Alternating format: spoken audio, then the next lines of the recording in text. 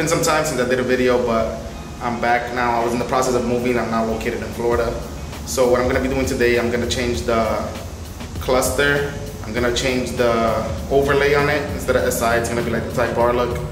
So it's not gonna glow red, it's gonna be just the numbers in white and the silver face. So let's go ahead to that. So I got the cluster out. Now we just gotta take out the plastic bezel and then the inside and stuff and then take the needle out to be able to add this overlay, which is a type R one. So I got the whole cluster apart. Um, for the needle, it was kind of tricky because you literally just pull straight up and uh, I thought I was gonna break it, but you just, I put a flathead in between see if I can focus it.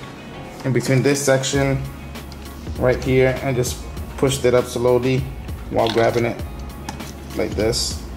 And it came out.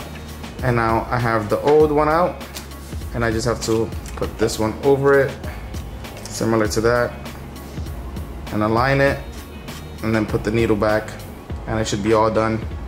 All right, so I installed the this overlay I just had to cut slits on this side.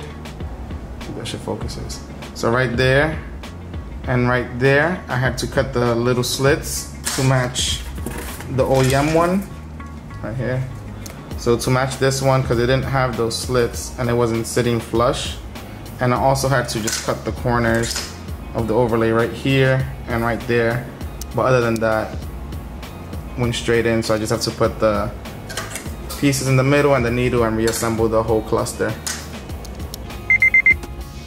Alright, so what I did, I just installed the tach um, without putting like the plastic or nothing. I just want to make sure to see, make sure everything is working. So it seems like it is. And I'm also gonna drive it to make sure the RPMs are matching to what they were before, which it looks like it should be fine, but I'm gonna, you know, I'm gonna go double check that by driving it nice and matched. The third gear is usually almost like a one-to-one -one on the tach and it looks good. So I'm gonna go ahead and reassemble the whole thing. So there we go. It's all installed. You can see how it looks. I have a old cluster so you can compare how it looks to that one. So that one is the OEM one similar. This is a 06 one, but it's a the same faceplate. And then this is the Type R faceplate.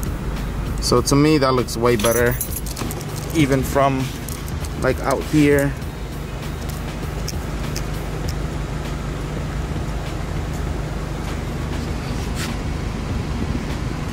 I just think that looks much better.